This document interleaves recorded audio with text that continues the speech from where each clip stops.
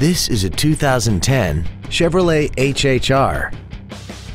This wagon has a four-speed automatic transmission and an inline four-cylinder engine.